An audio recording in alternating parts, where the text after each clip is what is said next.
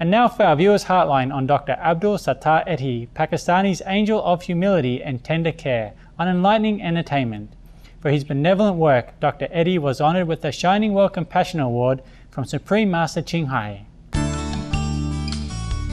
God bless Dr. Edhi, a great man for Pakistan and humanity.